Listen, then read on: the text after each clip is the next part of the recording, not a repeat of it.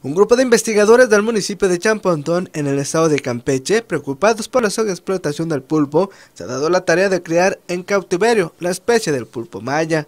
Esta especie se vio en riesgo de extinción a consecuencia de la captura desmedida. Hoy, 120.000 crías son liberadas en mar abierto para reprobar la especie endémica de Campeche. Esos expertos marcan las crías por medio de una tinta vegetal para comprobar la factibilidad de la repoblación y de esta manera cuidar la sustentabilidad de la especie. Luego son colocadas en tintas 800 litros hasta que tengan una talla de 2 centímetros para que después sean liberados en el mar.